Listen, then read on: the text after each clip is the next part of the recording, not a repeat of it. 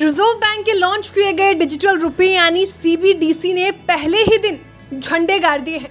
मंगलवार, एक नवंबर को आरबीआई की डिजिटल करेंसी सीबीडीसी का पायलट शुरू हो गया और पहले ही दिन बैंकों ने इसके ज़रिए खूब ट्रांजैक्शंस किए। पहले ही दिन इस नई करेंसी के ज़रिए 275 करोड़ रुपए का कारोबार हुआ। पायलट प्रोजेक्ट के पहले दिन कुल 48 ट्रेड सीबीडीसी के ज़रिए किए गए। Clearing corp of India CCI ने आंकड़ों से इस बात का पता चल रहा है। पहले दिन बैंकों ने 140 करोड़ रुपए की 24 डील्स सात दशमलव तीन आठ प्रतिशत वाले 2027 बॉन्ड्स में की। तेईस ट्रेड 130 करोड़ रुपए के हुए, जो कि सात दशमलव दो छह प्रतिशत वाले 2032 बॉन्ड्स के थे।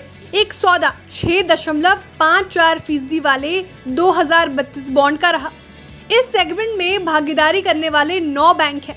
इनमें SBI bank of Baroda union bank of India HDFC bank ICICI bank Kotak Mahindra bank, yes bank IDFC first bank और एचएसबीसी रहे। रिज़र्व बैंक ने सीबीडीसी के ज़रिए लेन देन की सुविधा देने के लिए एक नया प्लेटफॉर्म बनाया है। इसका नाम है negotiated dealing system order matching N D S O M C रखा गया है। इस प्लेटफॉर्म के ज़रिए बैंक सरकारी सिक्योरिटीज की खरीद, फरोख्त आसानी से कर सकते हैं। नए प्लेटफॉर्म में बैंक सिक्योरिटीज के लिए अपना भाव लगा सकते हैं। और दूसरी तरफ़ से खरीद या बिक्री करने वाला अपनी किस्मत तय कर सकता है। इस तरह से बैंक इनकी खरीद फरोख्त कर सकते हैं। एनडीएस एम पर सेकेंडरी मार्केट के ट्रांजेक्शन हो रहे हैं। ट्रांजेक्शन के एग्जीक्यूटिव होने से पहले बैंक रिज़र्व बैंक को एक रिक्वेस्ट भेजते हैं।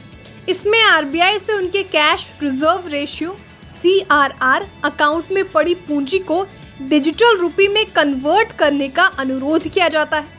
इसके बाद ये पैसा आरबीआई के यहाँ खुले हर बैंक के डिजिटल रुपए अकाउंट में सीबीडीसी के तौर पर स्टोर हो जाता है। इसके बाद आरबीआई तत्काल इस सौदे को सेटल कर देता है और उसमें किसी थर्ड पार्टी की ज़रूरत नहीं होती।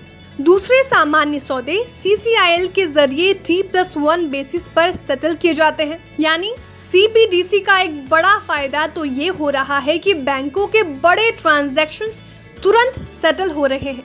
और पैसों का लेन देन तत्काल हो रहा है। इससे बैंकों के वक्त और कॉस्ट दोनों में बचत हो रही है। इसका एक और बड़ा फ़ायदा बैंकों को ये हो रहा है कि इस तरह के ट्रांजेक्शन में जोखिम की गुंजाइश न के बराबर है। इसकी वजह यह है कि सेटलमेंट का पूरा काम सीधे आरबीआई के साथ हो रहा है। बैंक अपने डिजिटल रुपी खाते की मॉनिटरिंग भी कर पा रहे हैं। बैंकों को फ़ायदा इस बात का भी है कि उन्हें इस तरह के ट्रांजेक्शन के लिए कोई फ़ीस नहीं चुकानी पड़ती है।